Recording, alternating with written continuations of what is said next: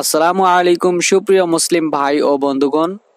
প্রতিবারের মতো আজকেও একটি ইসলামের নতুন ভিডিওতে আপনাদেরকে স্বাগতম। তো আজকে আমি রমজানের রোজা সম্পর্কে পাঁচটি গুরুত্বপূর্ণ হাদিস নিয়ে আলোচনা করব। তো চলুন জেনে নেই কি সেই হাদিস যা আমাদের প্রত্যেক মুসলিম নরনারীর জানা অত্যাবশ্যক।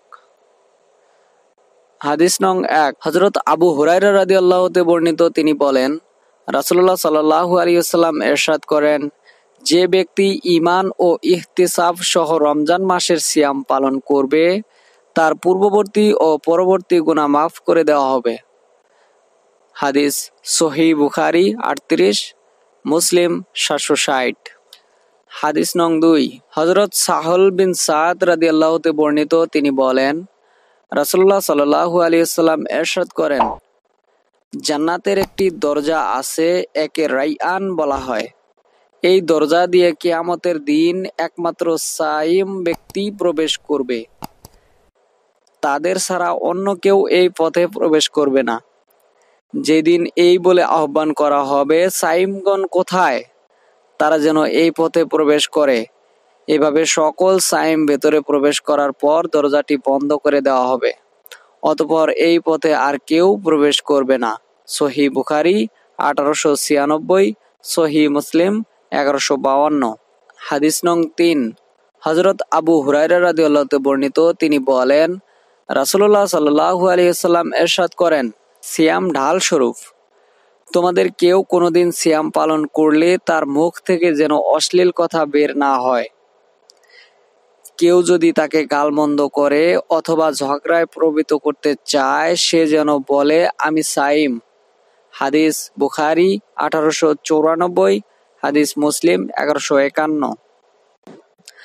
হাদিস নং চার হজরত আবু হুরাইরা রাদি আল্লাহতে বর্ণিত, তিনি বলেন রাসুল্লাহ সাল্লাহু আলাইসাল্লাম এরশাদ করেন।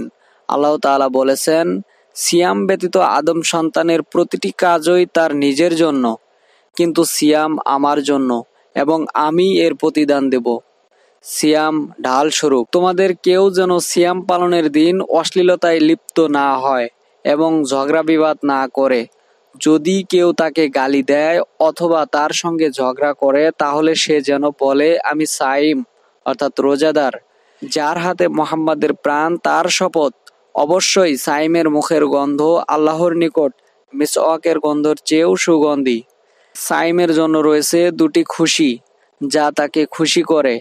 যখন সে ইফতার করে, সে খুশি হয় এবং যখন সে তার প্রতিপালকের সাথে সাক্ষাৎ করবে, তখন সাওমের বিনিময়ে আনন্দিত হবে। সহি বুখারি, উনিশশো চার, সহি মুসলিম, এগারোশো একান্ন।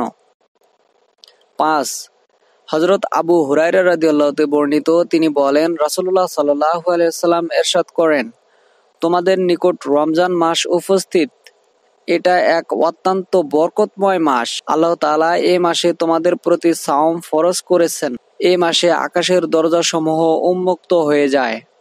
এ মাসে জাহান্নামের দরজাগুলো বন্ধ করে দেওয়া হয় এবং এ মাসে বড় বড় শয়তানগুলোকে আটক রাখা হয়।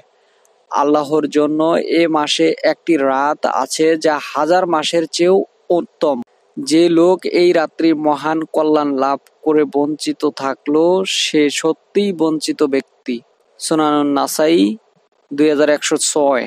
অতএব আল্লাহ তালা আমাদেরকে সহিটা জেনে, বুঝে আমল করার মাধ্যমে রমজানের ফজিলত গ্রহণ করার তৌফিক দান করুন। আমিন। ওয়াখির আলহামদুলিল্লাহ রবিল আলমিন।